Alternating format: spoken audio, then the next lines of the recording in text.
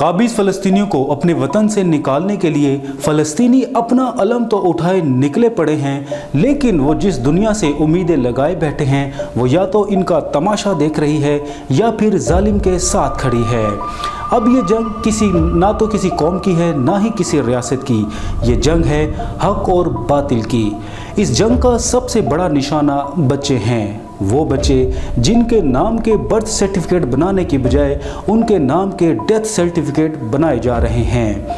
आज तक दुनिया की सबसे बड़ी इंसानी जेल कही जाने वाली जगह अब दुनिया की सबसे बड़ी मकतल गह बन चुकी है।